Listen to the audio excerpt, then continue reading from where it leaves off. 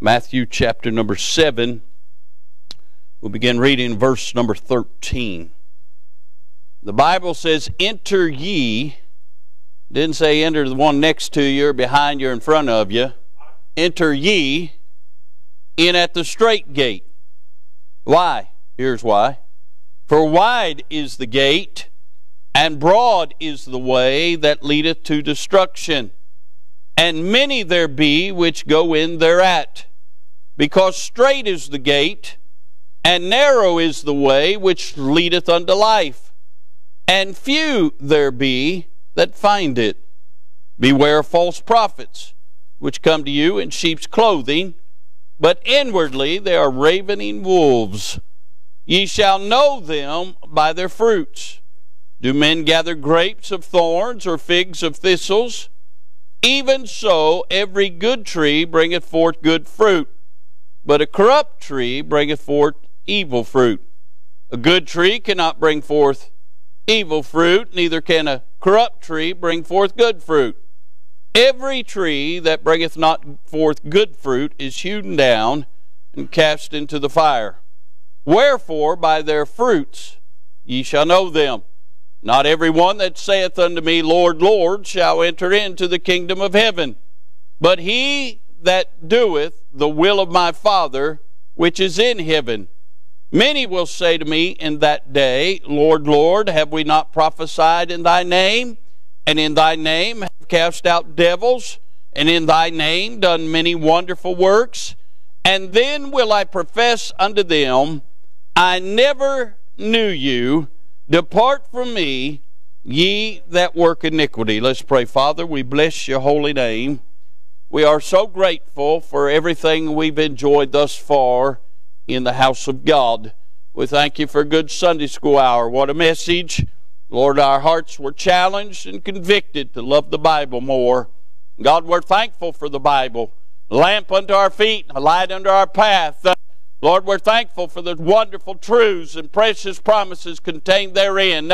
It is our lifeline to heaven, and God, we're thankful for it. Uh, God, we're thankful, Lord, for the good singing, the good choir singing, good congregational singing, and then the good special singing. Uh, Lord, what a blessing uh, uh, uh, to enjoy the good singing. And Lord, our hearts were blessed by it. God, we're thankful for the good testimonies. And Lord, how they spoke to our hearts. And Lord, as you have blessed and moved in the hearts of your people, uh, done work in their lives, and they stood and gave you glory for it. And Father, we're thankful for that.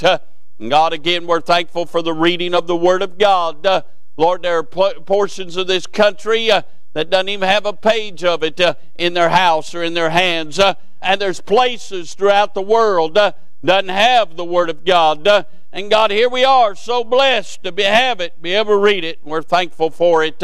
Now, Father, I pray you take the truths of thy words, uh, and God, take the thought you born in my heart. Uh, I pray you'd speak to hearts today. Uh, I pray nobody would tune us out. Uh, I pray that you'd arrest their attention. Uh, we do pray for a hedge about this place. Uh, I know that the devil and every imp of hell will do everything they can to discourage and disrupt the service.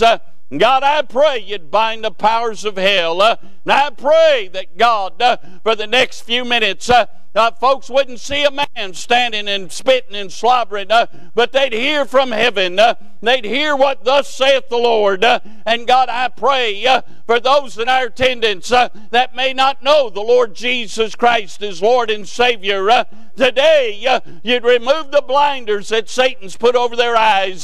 today, you'd convict their hearts.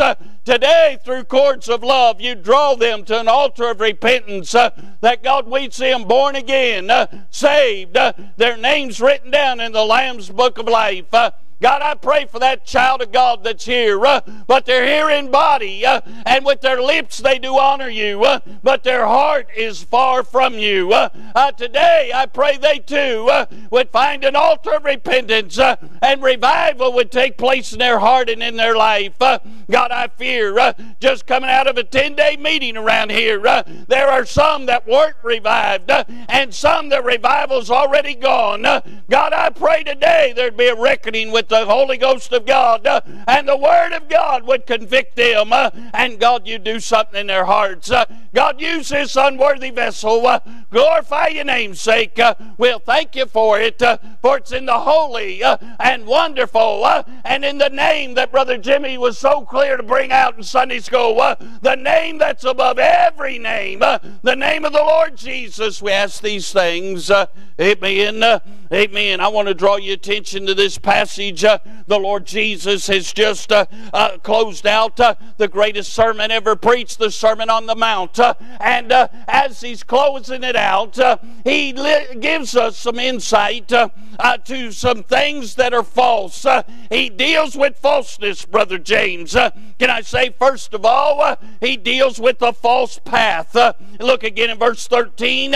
he said, Enter ye in at the straight gate.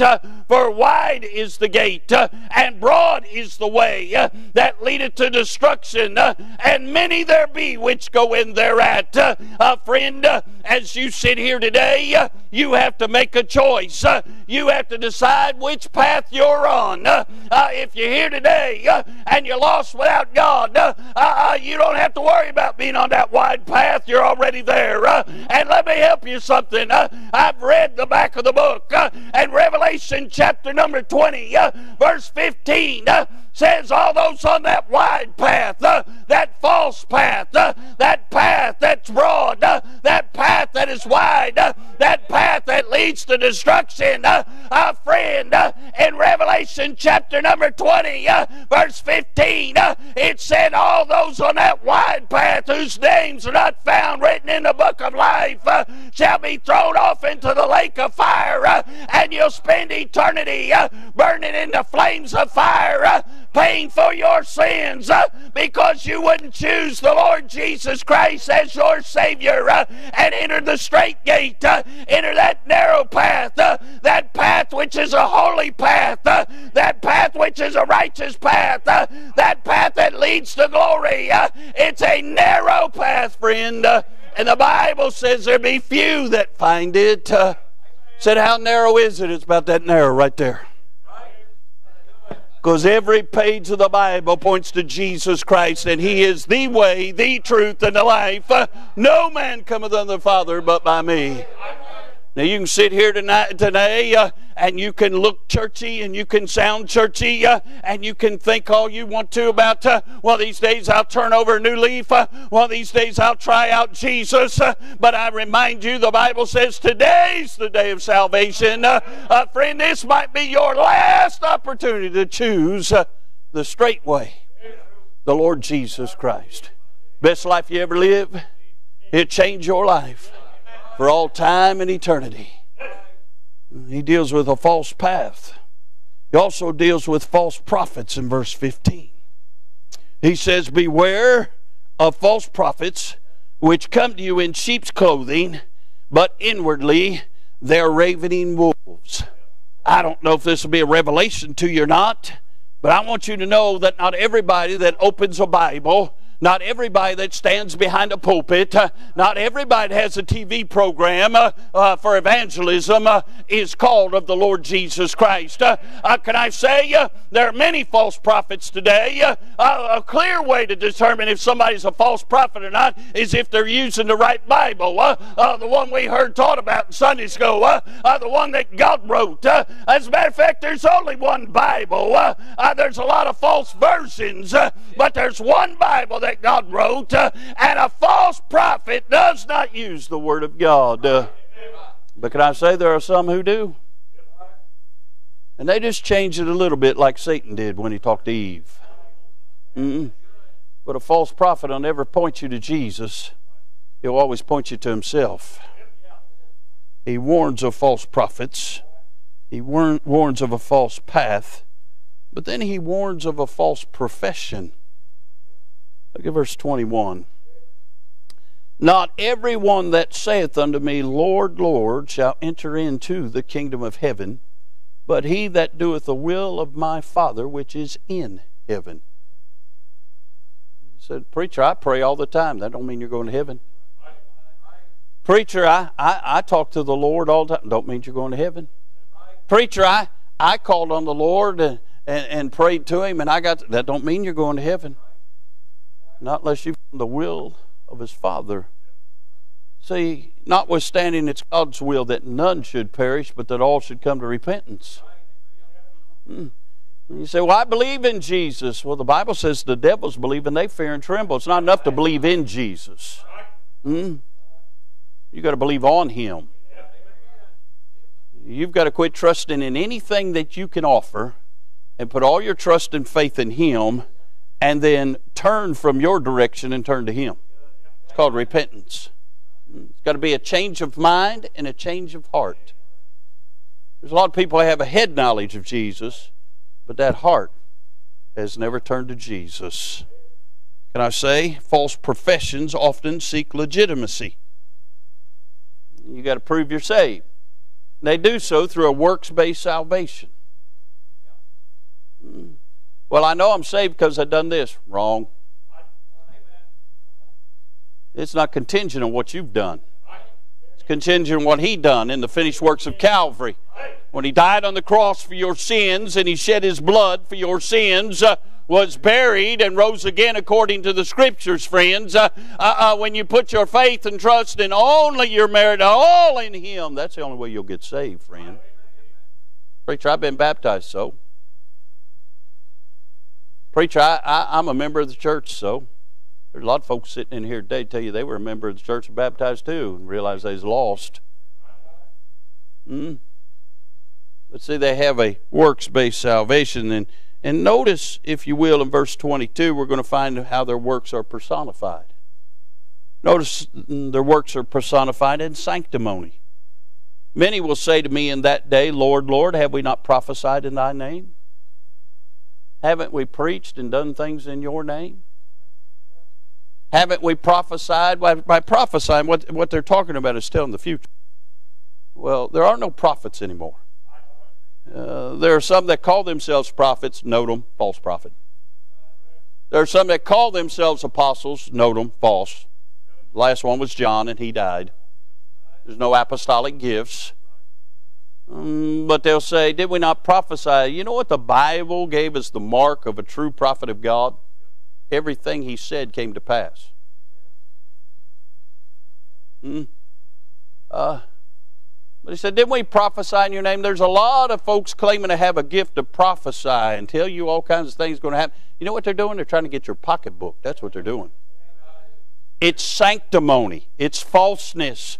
It's not based upon the will or word of God. There's a lot of that going on today. It's not only their sanctimony, the way they worship, always brings gratification to the flesh. Hmm? This modern push of dimming the lights and having strobe lights and neon lights and having smoke machines. Uh, and having a, a, a, a rock band uh, uh, to get your uh, uh emotions moving and your feet are moving, uh, and to have some display of emotion uh, where folks are washing windows or whatever they're doing. I don't know what they're doing. none of that entertainment and emotion and all that stuff is not of God when it comes to worship. Now, listen, there are some emotions when you worship, but we're to worship in spirit and in truth. When God gets to move and the Word of God comes alive in your life and in your heart, and the preacher gets to preaching and the singers get to preaching, sometimes your worship's a form of a tear running down your face. Uh, sometimes it's a hearty amen, hallelujah. Uh, uh, sometimes you jump up. Uh, sometimes you're just grinning from ear to ear. Uh, hey, worship will bring an expression in your life. But your expression isn't your worship, it's a byproduct of what God's done in your heart. They deal with sanctimony. They deal with spiritualism, their works based salvation. They're always talking about the devil. Notice what he said. Mm, have and in thy name have cast out devils. Hmm. I listen to some things people say and I cringe. The Bible tells us that Michael the archangel didn't durst accusation against the devil. He said, The Lord rebuke thee. There are a lot of people talk to the devil. They say, Devil, get out of here. Devil, I rebuke thee. Devil, this, devil, this. I don't want to talk to the devil. I'm no match for the devil in my flesh. I talk to the Lord. Matter of fact, nowhere in the Bible does it tell us uh, uh, uh, to, uh, uh, to talk to the devil, but it does tell us to call upon the name of the Lord. Uh, he'll show us great, mighty things that we know it's not. Uh, are you listening? Uh, a lot of people sing about the devil. devil, get behind me. I'm not messing with the devil, friends. that's a battle I'm not equipped for. I'll just jump in the lap of Jesus. Let him handle the devil. hey, when the devil gets them trying to tempt me or move on me, I'll just turn to the Lord. I'll resist the devil. He'll flee from me. Uh, doesn't tell me to rebuke the devil. Uh, tells me to resist him, my dear friends. Uh, but you listen to this charismatic, crowd. They're all the time talking about the devil. I don't. I, don't want. I don't, that's that's out of my. That's out of my pay grade right there, dealing with the devil. Uh, I've known men that lost their mind because they studied on how they can fight the devil. Mm where the Bible tells us to put on the whole armor of God. We can withstand the wiles of the devil. I'll just stick with what the Bible says. Their works are personified in sanctimony and spiritualism, but also societal niceties. They're always doing something good for society. Look what it says. And in thy name done many wonderful works. I remember a few years ago we was in a drought and it was hot it was in July. I mean, it was hitting 100 every day.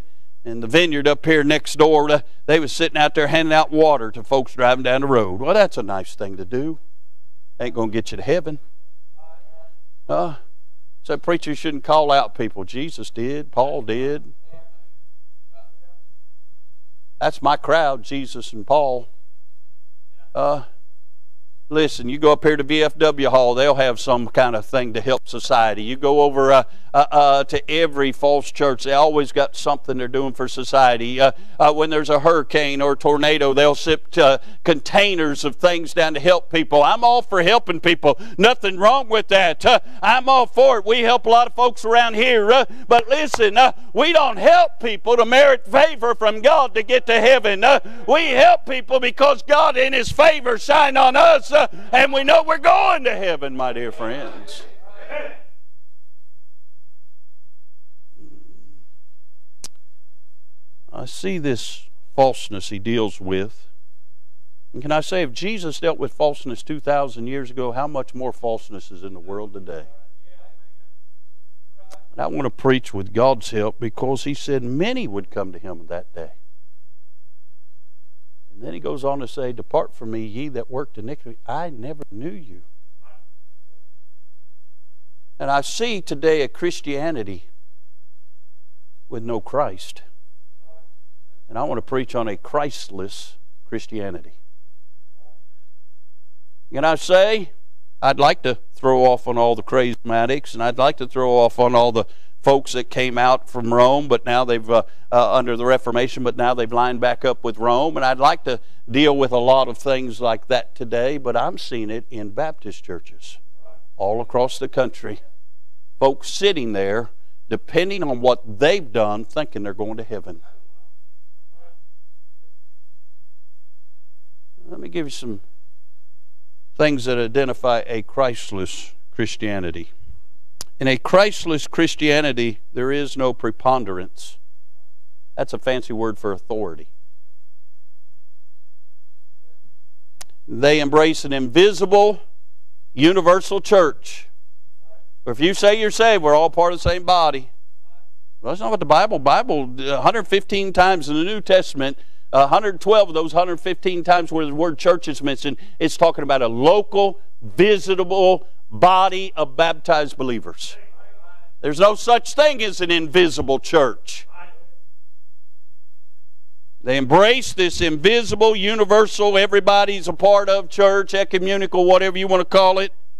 They, they embrace a false narrative about God. You listen to a lot of this contemporary Christian music. I don't know how many times I've preached over that, Jordan, over the years. You probably remember. You, you never forget nothing. But I'd say it's in the hundreds. I've mentioned all this uh, praise and worship, contemporary Christian music, uh, and friends, uh, if you haven't seen that uh, documentary uh, uh, uh on Discovery Plus about this Hillsong outfit uh, and how they uh, purposely write that music to stir your emotions to make you think you're worshiping, and all it is is for you to get sucked into their system and for you to buy their music and to buy their stuff they put out and to be, get, get your money and be a part of that. they've even said in their services at a certain time they'll drop the temperature way down uh, uh, so you uh, will get cold and you think it's the Holy Ghost uh, and it's just them manipulating you. all that area is. and by the way, it's not only contemporary Christian music, this Southern gospel music movement where they don't belong to a local church, where they don't tie to a local church, where they don't go out knock on doors, invite folks to Christ. hey, all this crowd's about making money, glorifying themselves, and they're doing it in the name of Jesus. Uh, if you let your children be indoctrinated by yours, that stuff, uh, shame on you. Uh, don't come crying to me in about 15 years uh, when their mind's messed up uh, and they want to run and join a recovery movement because they was treated so unfairly by Bible believers. Uh, friends, you ought to sow the Word of God in your children's heart. give them songs that praise the Lord Jesus Christ that are biblical and hey, get them to enjoy the goodness of God. Uh, they got a false narrative of God. You listen to that contemporary junk. They'll mention God. They don't mention Jesus. I remind you that AAA or AA or whatever it is, and BVD and everybody else, they'll tell you it's okay to have a God and you can make anything a God. And America has a God, it's called the Almighty Dollar. But that's not Jesus Christ. And if you notice in our text, they came to Jesus because they're going to stand before Him at the great white throne judgment. And He's going to tell them, Depart from me, ye that worked iniquity. They embrace a false narrative about God and they embrace an altered, godless Bible. Doesn't say God only pinned down one. If you come here, you know you know what it is. Can I tell this? I never like to embarrass people, but I do it all the time anyway. God bless Miss Kathy over here. It's good to see you. Appreciate you, sis. It's good. I'm not going to embarrass you too bad. Move out of the way. I appreciate you, sis. Miss Kathy was a lifelong Catholic. Brother Mike invited her to church when he was doing some work on her house. And she asked one question, as far as I know. She asked, Do y'all wear masks? It was during the pandemic. He said, Well, I guess he wasn't ready for that question. He said, Well, no, but you can if you want to. She said, Good. It was up there at St. Tim or wherever she was going. He was making them wear masks. So she came. Second time she came. She, she approached Miss Annette. She said, I don't think I've got the right Bible. We gave her a Bible. She just kept coming. You know what she found out? She found out she needed Jesus.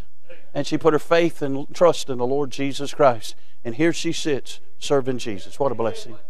Uh, you don't have to tell people they got the wrong Bible when you start using the right one. The Holy Ghost tell them real quick.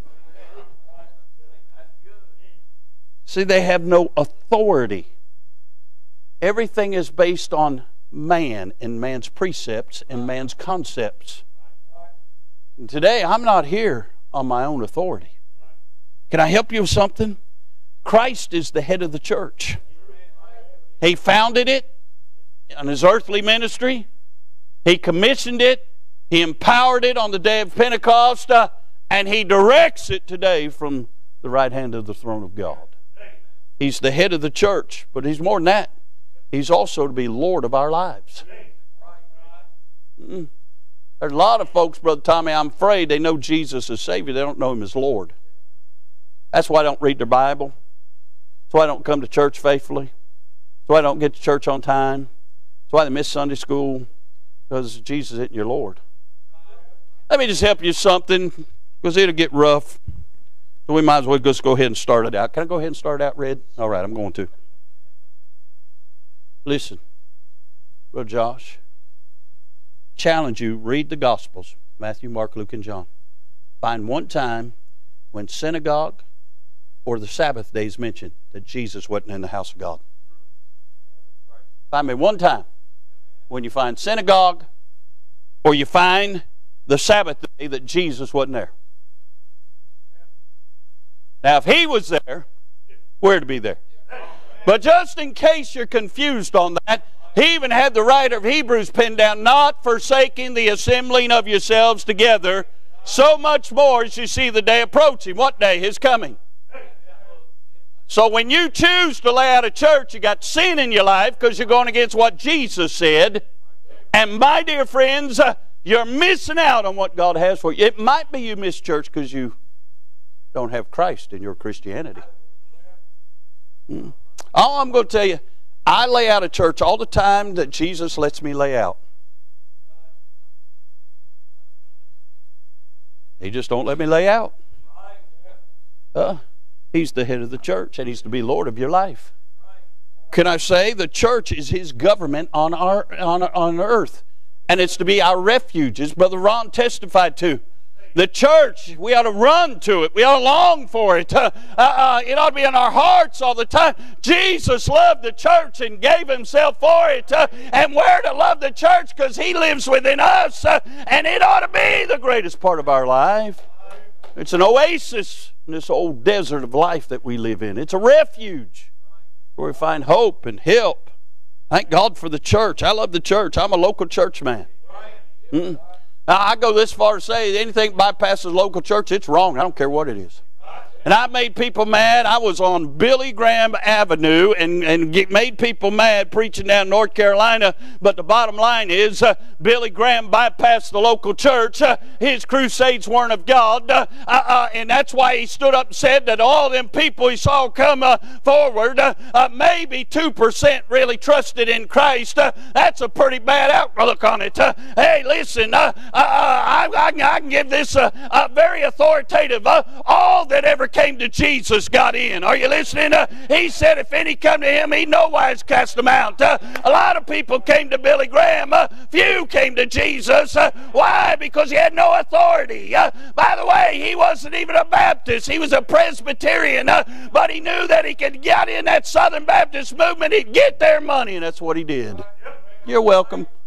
There's a book out, 673 pages, called Billy Graham and His Friends. Uh, uh, you buy that book, get that book, it'll help you, it'll enlighten you. Billy Graham, he said there was no hell, uh, no fire in hell. Jesus said there was. Billy Graham bowed down and kissed the Pope's ring. Hmm? You're welcome. Uh, ain't no hope in the Pope. Uh, matter of fact, no, I won't say that.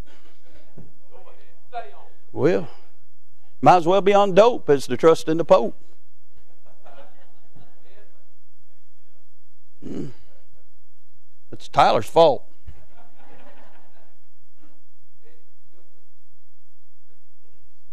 Can I say our authority is not only Christ, He's our head. The church is not only uh, His government. Listen, I, I don't have time. I, go read the Baptist distinctive I did on, but He had 12, 12 uh, tribes of Israel showing the 12 in the Old Testament. He had the 12 apostles for the New Testament. 12 is always his number of government, and the church is his government. Can I say this? The canon of Scripture is our authority, and it's to be our lifeline to heaven. We speak to God in prayer, He speaks to us through His Word. Thank God we have His authority. But a Christless Christianity doesn't have any authority, any preponderance. Can I say this? A Christless Christianity doesn't have any power. Oh, it's got a spirit, but it doesn't have any power. That's why John told us try the spirits whether they be of God, but it doesn't have any power. And I say a Christless Christianity has no power to convert a sinner. That's why they tell everybody, come as you are. They have no power to change them. Hmm?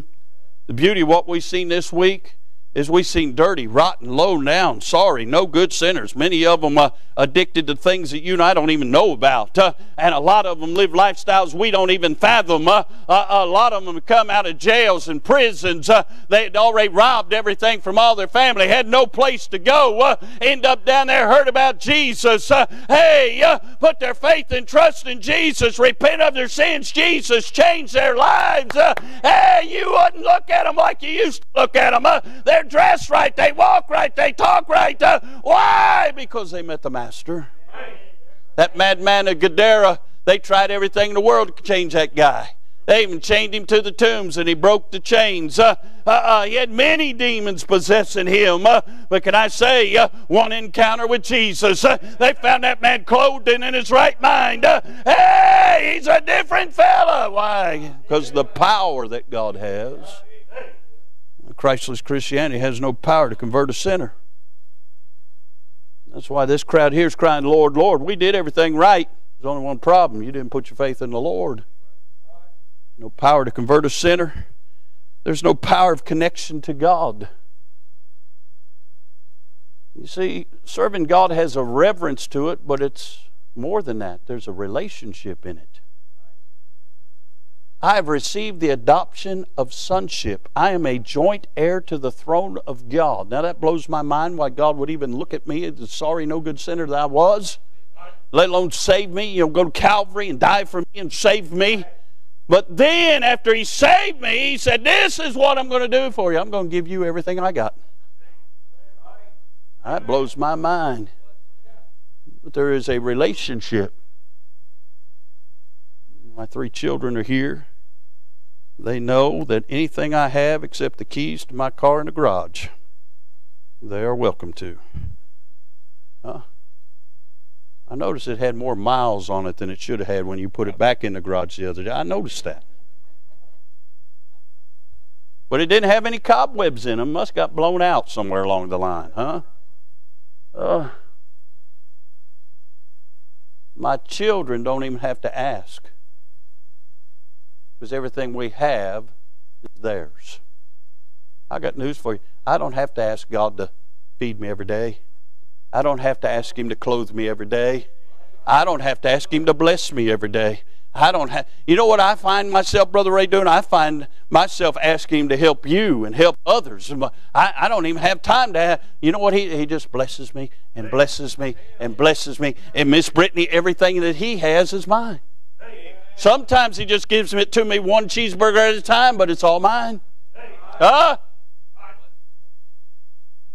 I'm thankful for the power of the connection I have to Christ.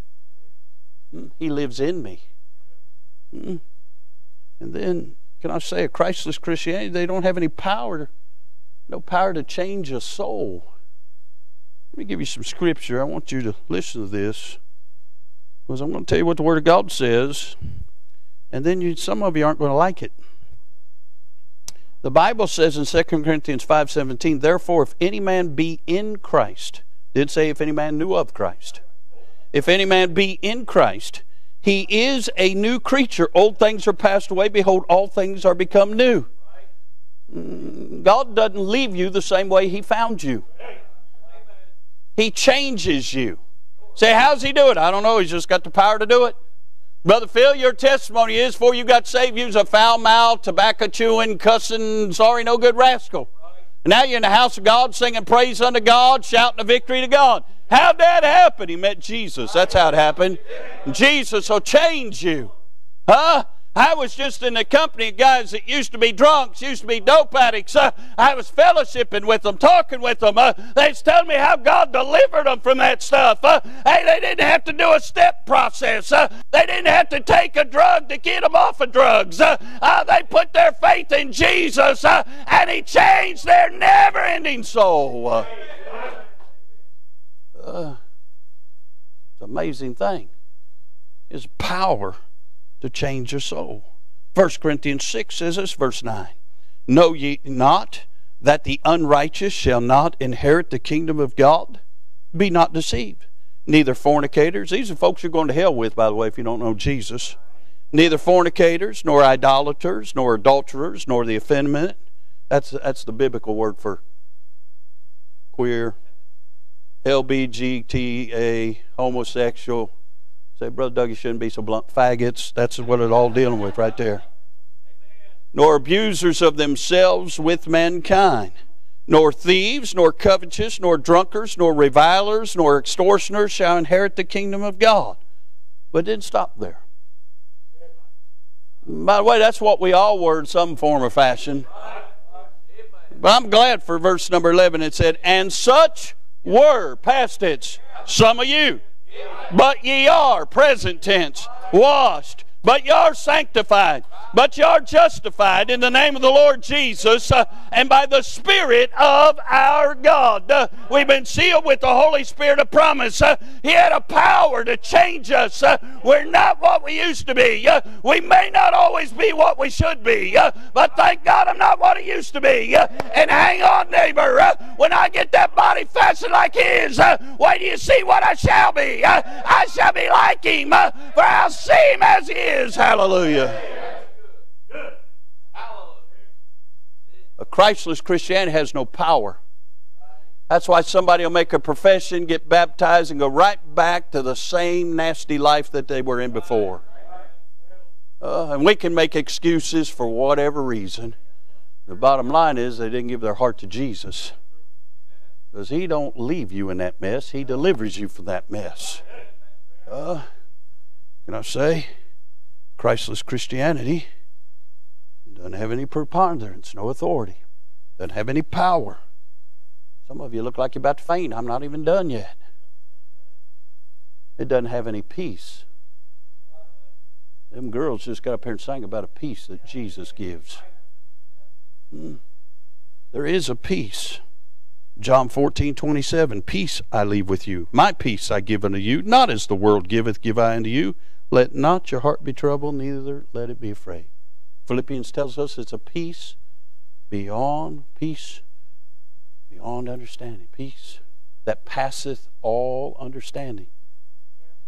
I have been amazed in my 48 years of being saved. I've seen people face some of the most tragic things, but they never are overtaken by it. I've seen cancer come into their lives only to see them bless the Lord, oh my soul. I pick on Miss Crystal a lot. But when she got that cancer, she'd take chemo on Wednesdays and didn't miss, miss church on Wednesday night. She didn't miss service I know of. She had cancer, but cancer didn't have her because she belonged to Christ and she had a peace. Now, there's a whole lot more goes behind that because not only did she have cancer, but her husband left her with three youngins, and she don't know what the future holds, and she don't know how these youngins are going to make it through. But she knew one thing: Jesus was in control. Hmm? Hmm? So how'd that happen? Peace. And she's not the only one. Miss Mary had cancer. Huh? Others had cancer. Miss Brandy had cancer. I've seen folks over the years face harsh times, but they had a peace. And I'm sure there were days she thought, I'll just stay at the house. But then she got to thinking, but Jesus has been so good to me. I think I'll just go on down to the church house. Huh? Amazes me how little it takes some people knock them out of the house of God. I was just in Washington, D.C two weeks ago, I guess. I don't remember. They're all over the place. And a lot of you know Preacher Wheeler, good man of God. And I got to look around. There were some that weren't there. I mean, of course, I hadn't been there in a decade, so. And so I asked him, Where's so and so? Where's so and so? We went out to lunch and he said, COVID knocked them out. No, hold on. That's happened everywhere. Folks say, well, let me do it right. I don't want to get sick. Well, you don't read because doing this, you're breathing your own carbon monoxide and you ended up getting sick. You're welcome. Didn't cost you anything. Well, I don't want to get around people. I might get germs. Well, you got enough germs in your house to kill you if God wants to kill you, all right? I just trust in the Lord. But that's not why. See, where they were, five minutes from Washington, D.C., and the wicked governor they had, about as wicked as the one we had, they were faced with every time they assembled a $2,000 fine, and he was faced with a year in jail. And he got in his prayer clauses, got a hold of the horns of the altar, and God said, Stay open. Three times the police were called on him. Three times the police showed up, and I kind of feel like after he told me the story it's kind of like some of our deputies showed up. Said, Well, we got a call. We had to come out. Good to see you. Have a good day. Turned around and walked off. But he had people got infighting. What do you think we ought to do? He said, Well, the pastor said we're staying open. No, I don't want to know what he says. What do you think we ought to do? What do you think we ought to do? What do you? And the ones that didn't want to do what the pastor wanted to do decided to leave. It amazes me how we can trust Jesus to take us to heaven, but we can't trust Him to take care of us. And it amazes me, Brother Tyler, they won't come to church, but they'll go to Walmart. If I'm going to die, I want to die from church and not Walmart. Uh, I've never had too much church to kill me.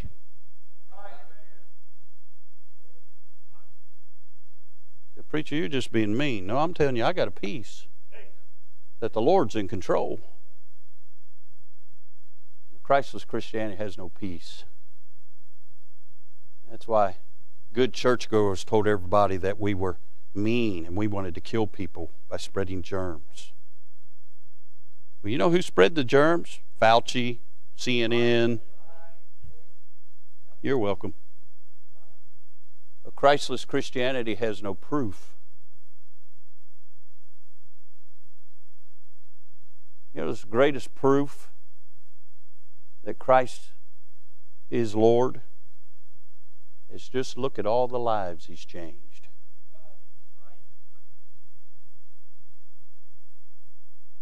You can look at those that you once knew was the worst one in town, and now they're faithful sitting on a church pew every week.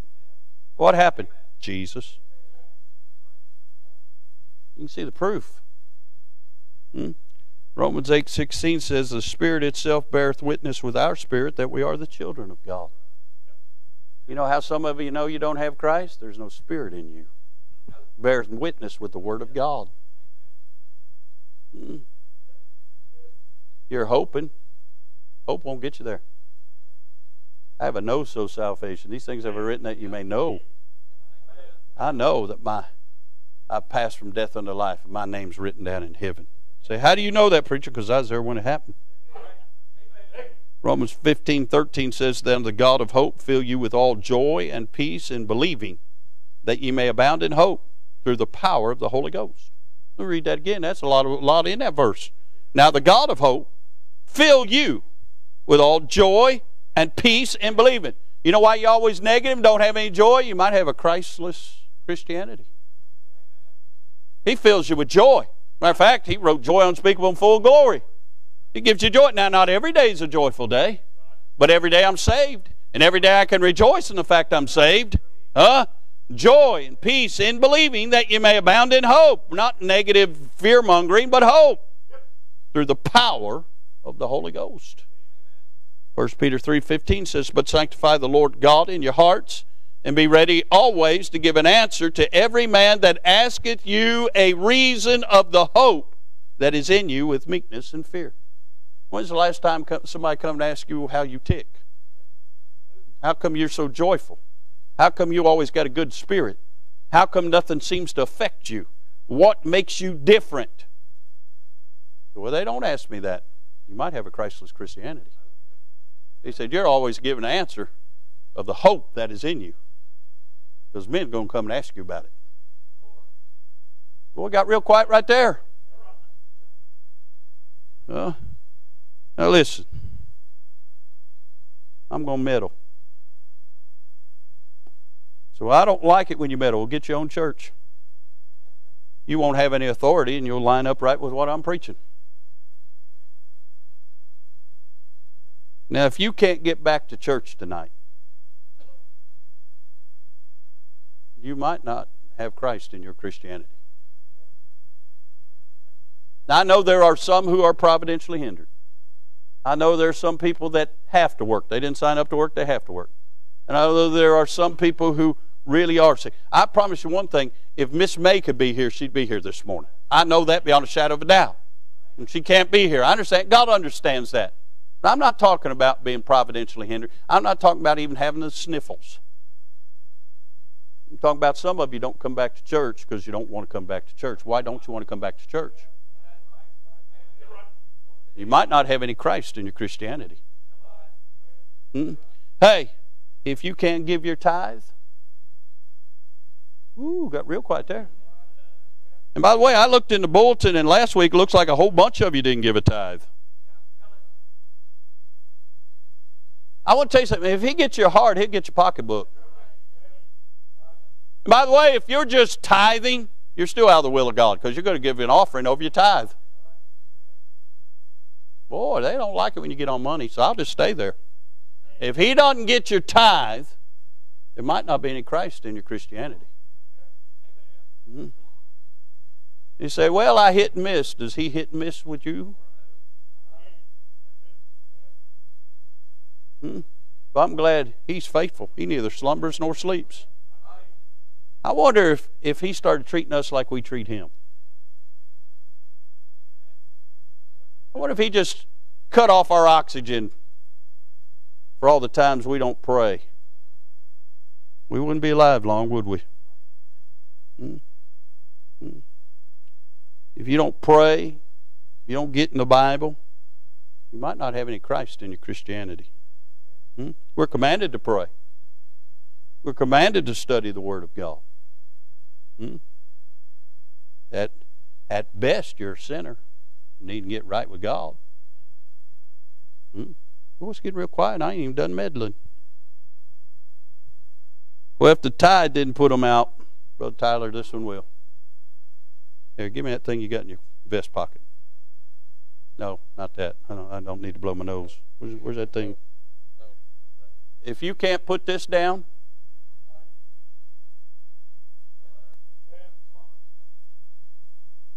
Hey, I know there's some good going to use to this, but most of the time you don't use it for good. If you can play games, you can read your Bible. If you can be nosy on Facebook looking at everybody's life, you can read your Bible. Get in here and get nosy about, about fellows like Isaac and Elijah and Elisha. Read about their lives. That'll help you. Uh, uh. If you can search the internet, you can search the scriptures. Again, I know there, I, Google's my friend too. I know every time I'm in, a, in a, one of these cities I'm in, Google, find me a pizza. You know, I understand that. But I don't live on Google. But I can't live without this. If you can live without it, and you can't live without your phone, you might not have Christ in your Christianity. Preacher, you're meddling. I know, and I'm having a good time. Hey, if you can't do anything around the church unless you get a pat on the back or get noticed for it, see those things done in secret. It's what He rewards openly. Yeah, if you're one of these, you got one of them things just going around like this all the time. Might not have any Christ in your Christianity. Hmm? Huh? Hey, if you can tell somebody, if you can't tell somebody about Jesus, but you can talk about cars and guns and your teams, and you can talk about you know shopping sales, and you can talk about places to dine, and you can talk about you know everything in the world, puppies and rainbows and kitty cats, but you can't tell somebody about Jesus. You might not have any Jesus in your Christianity. Mm-hmm. Listen, if you can't give, uh, if you can't have godly aspirations, but all your aspirations are fleshly, you plan your year based on your vacation and everything, and everything you do is all based on worldly stuff.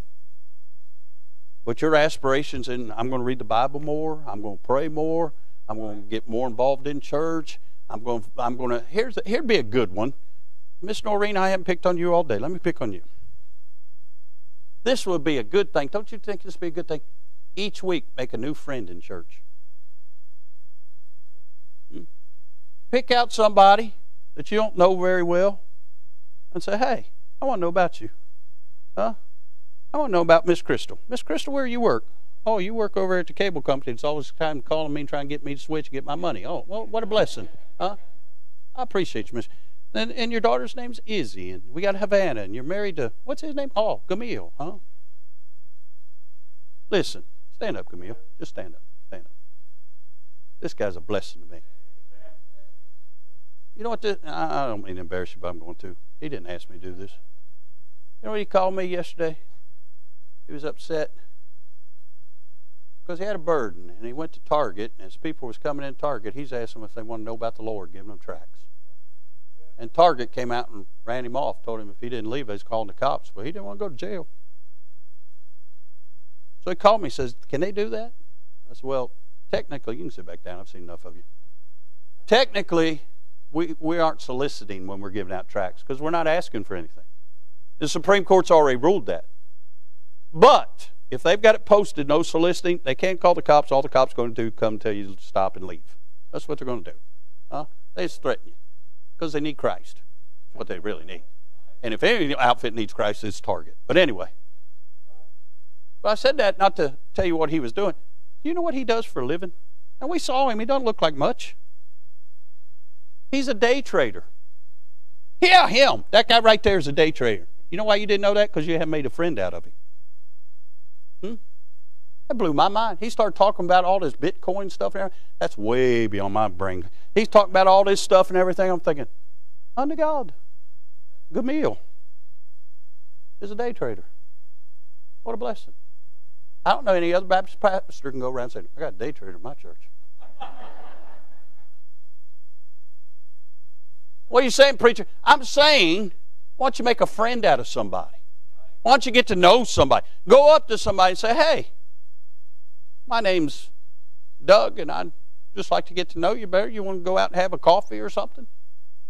Uh, Jesus said, This is how the world know you're my disciples, that you have love one for another. Not love for just a few you got to know over the years. Just learn people. You'd be amazed at where God's brought people from and how God moves in their life, how God's done a great work in their life. It'll bless the socks off of you. But see, all your aspirations around going to the beach or something. Get involved in these kids' lives. We got a bulletin board back there when they got ball games and stuff. Go on a Saturday morning and watch two or three of them play. It mean a world to them, and it'll bless you too. Hmm. I don't have time for that. Well, you might not have time for Christ either. You might not be in your Christianity. Hmm. If you can't worship,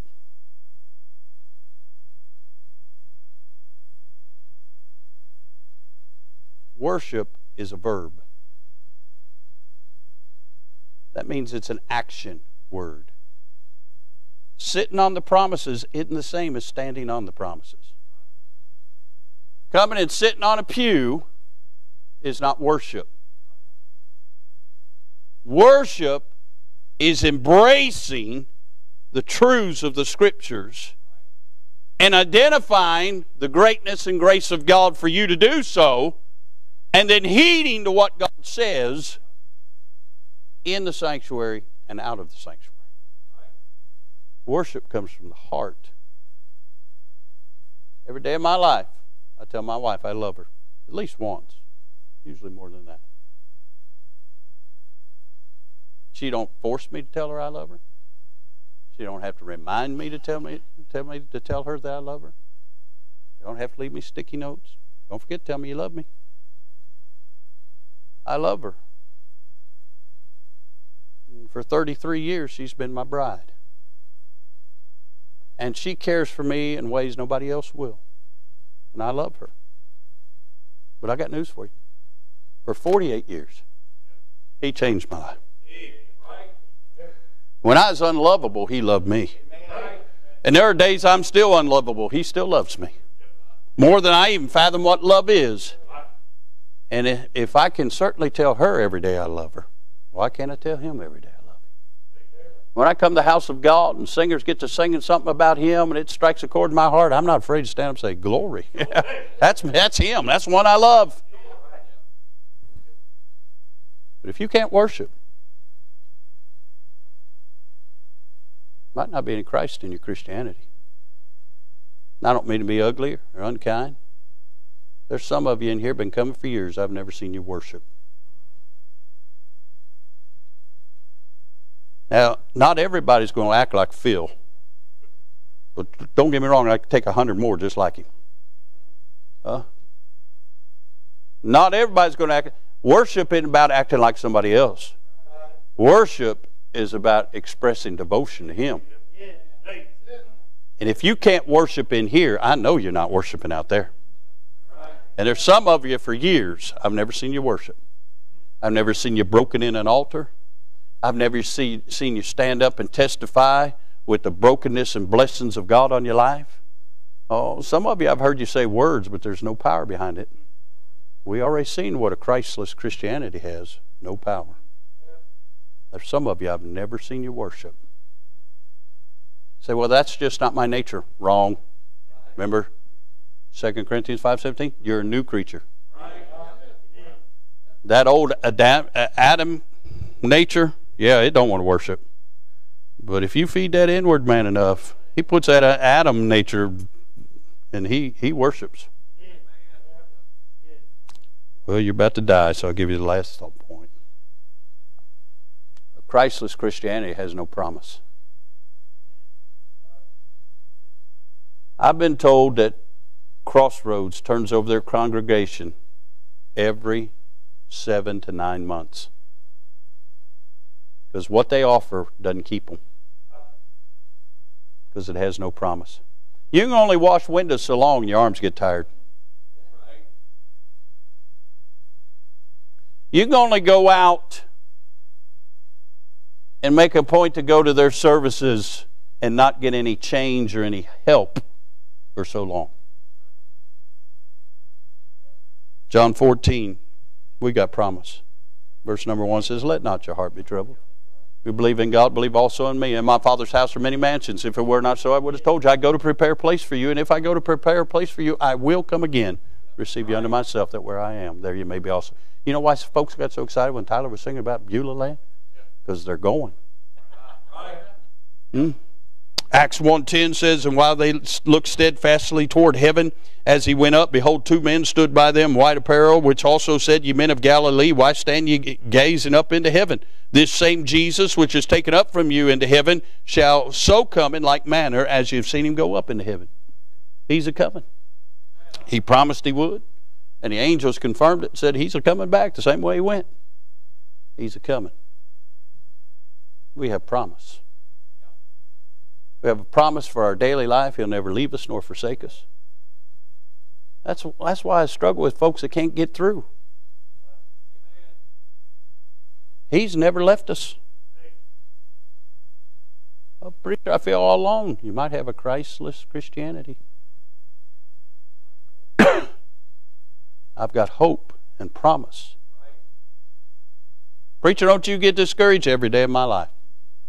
You don't see the text messages I get from folks why they can't come to church. Hmm?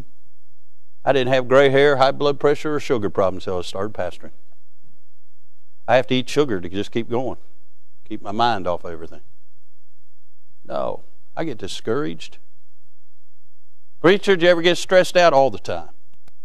Preacher, you ever have a bad day? More than I'd like to admit. Preacher, are there days you don't feel like reading your Bible? Absolutely. That's why I enjoyed the Sunday school lesson this morning. Preacher, are there days that you don't pray like you should? Uh, yep, too many.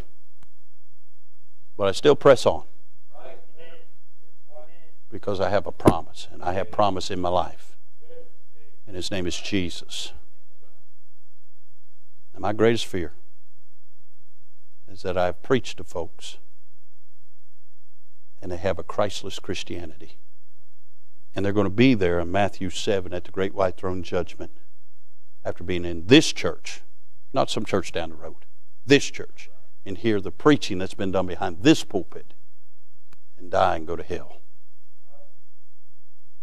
Friend, you don't have to go to hell. But I sure would do inventory. Paul told us that we should examine ourselves whether we be in the faith. Can you go back to a place where truly Jesus changed your life? When you called on Him, you repented, and He saved you, and He changed your life. If you can't go back to a place, friend, you just might have a Christless Christianity. If you're here today and you've never put your faith and trust in the Lord Jesus Christ, Friend, I don't know what world you're look, living in, but if you look around, you can see this world's messed up. I'm going to tell you why, because Jesus told us all this stuff would happen. Read, read 2 Timothy chapter 3. Perilous times shall come. The last days, perilous times shall come. We're there. And then he gives a whole list of things that be going on. They're going on. It's happening. I believe uh, whoever's going to blow the trumpet, if it's Gabriel or whoever, they're wetting their lips. I believe the Lord's about ready to step out on the clouds and call his church out of here. And friend, if you don't trust in Christ and that happens, there's no hope for you. You'll be at the lake of fire. You'll say, I went to church. I knew Brother Doug. I heard preaching. I didn't. Depart from me, ye that worked iniquity. I never knew you. My simple question is I don't care about your Christianity. I don't care about your baptism. I don't care about your church membership. I don't care about how much money you give. My question is do you know Jesus? Does he know you? If you don't know him, I get in this altar today.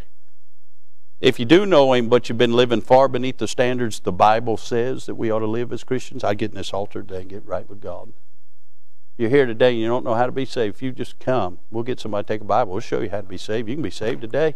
You can go out here, a new creature in Christ, and your world will be better today and for all of eternity. But Jesus has done all that he, he will do. He died for you, was buried, rose again, proved he was a son of God. He established his church, friend, allowed you to be here, allowed you to hear this message. He's put people in your life to let you know they love you and that you need to be saved, but it's all on you now, friend.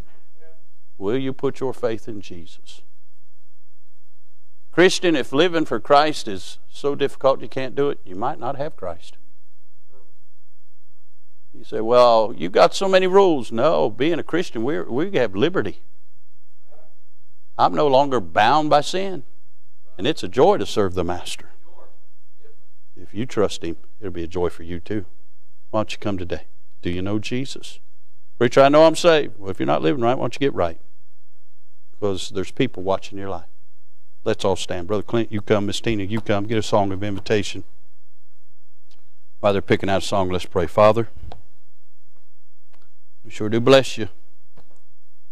I'm glad for true Christianity. I'm glad for the day you saved my life. Lord, I look around and see people trusting in a lot of things that won't save them. Lord, there may be some people here today that have a Christless Christianity. Lord, I know there is, or you wouldn't give me this message. I'd have gladly sat down and egged on Brother Jimmy as he was preaching. But Lord, there's somebody here not saved, and there's folks here that claim they're Christians and they don't have Christ. So I pray the sweet Holy Ghost would convict them of their sin. I pray you'd remove the blinders that sorry, no good devils blinded their minds with. God, I pray they'd come to reality the fact they're headed to hell, but they don't have to go. They'll come put their faith in the Lord Jesus Christ. Now, Father, have your way in this invitation. Help your people to living far beneath the privileges of a Christian. Come and do business with God and God be glorified in it all. We'll thank you for it. In Jesus' name we pray. Amen. Thanks to listeners like you, IBC has had over 100,000 views on our YouTube channel. If you haven't already, subscribe today. And as always, thanks for listening.